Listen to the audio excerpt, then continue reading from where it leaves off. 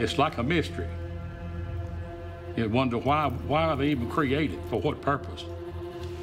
Are you trying to annoy old Pharaoh? Their carcasses were everywhere, and I was just disgusted, you know. And that's kind of as a kid, that's what you remember. Pandora let them out of her box a long time ago, if you remember that story. Well, if you think about it, they are larger than life. You know, they emerge from nothing.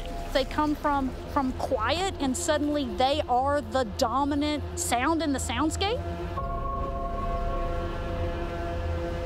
They've predated humans, they've persisted and have stayed here for millions of years.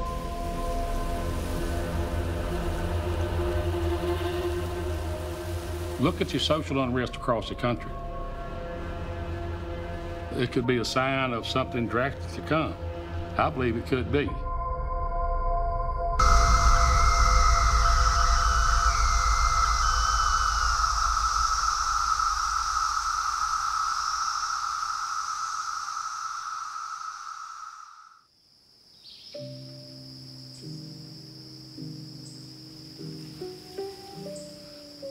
When I was small, everybody, you know, heard these things about these things. We hear them and wonder what it was and running around. And uh, mom told me that they were Pharaoh bugs.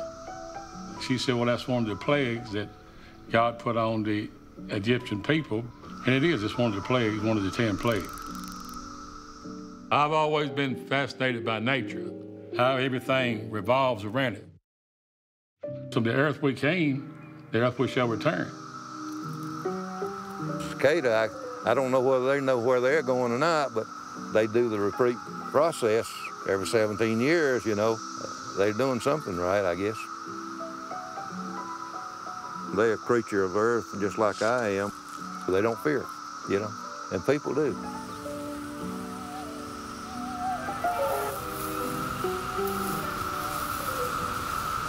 My license plate says bug hunt, so I always have to explain that I'm not a computer scientist, I'm a bug geek or bug nerd.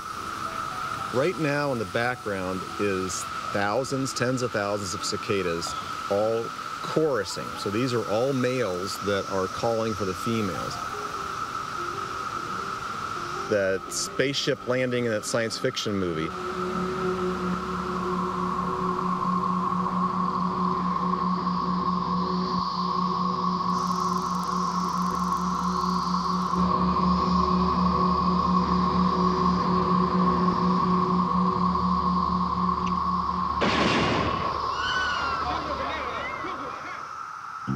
I just feel excited, you know, to, to hear this, you know, overwhelming population of, of insects making this dramatic sound and knowing that uh, it's just here for a short time and then it's going to disappear again for, for years.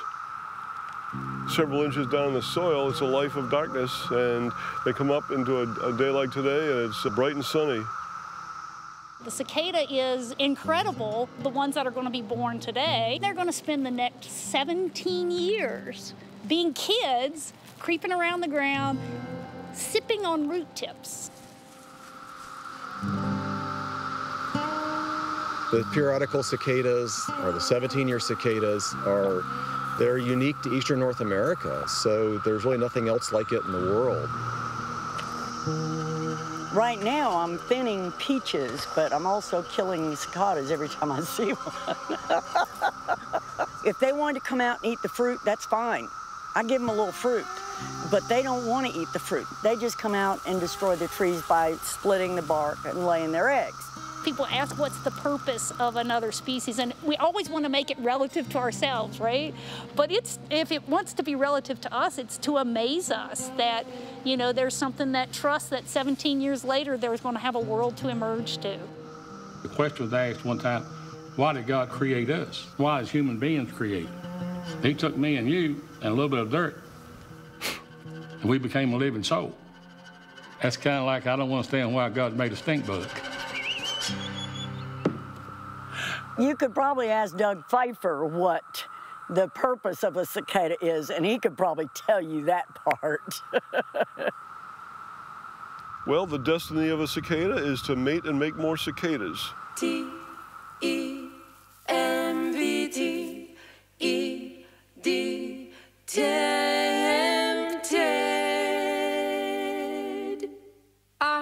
was tempted.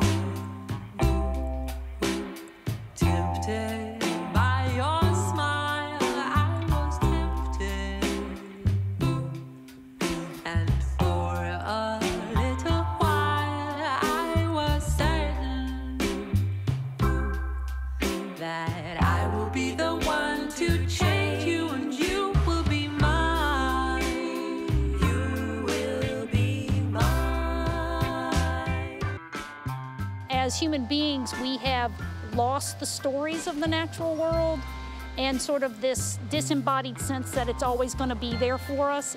We don't want to lose them. That's just marvelous. It's this sort of sense of hope and trust that the world is still going to be the world in 17 years. It's amazing to experience it, you know, that they, they're out and active and audible for such a short period of time and then disappear. They got their place. Maybe that's music they're playing. Maybe that's music we'll hear one day. Who knows, right? Still, it's a mystery. You know, sometimes God reveals mysteries to us. And I'm just praying, Lord, that you will reveal to us what this thing is all about. Hello, little cicada. Welcome to the world. If you find yourself coming out near an orchard or vineyard, keep your head down and better fly in a different direction. Mr. Cicada, like I said, go on and get out of this orchard. Just stay out. Hey, Cicada, it's good to see you again. I look forward to seeing you again in 2037.